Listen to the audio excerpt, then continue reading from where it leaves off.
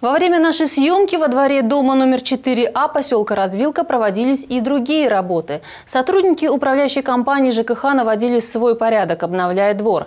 Старые урны, служившие много лет и пришедшие в полную негодность, меняли на новые с помощью сварки, накрепко соединяя их с основанием. В планах и другие виды работ.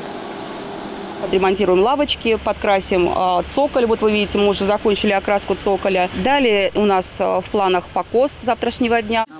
Пока мастера выполняли свою работу, техника Елена Ухарова общалась с местными жителями, прислушиваясь к их замечаниям. Михаил Красавин, старший по дому номер 9А, отметил важность этой работы, но в то же время посетовал на поступки некоторых недобросовестных жителей.